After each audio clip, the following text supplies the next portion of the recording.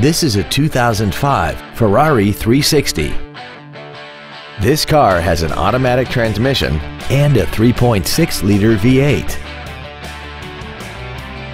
Features include 18-inch alloy wheels, air conditioning with automatic climate control, a rear window defroster, a multi-disc CD player, variable valve timing, peripheral anti-theft protection, rear fog lamps, traction control, tinted glass, and this vehicle has less than 6,000 miles.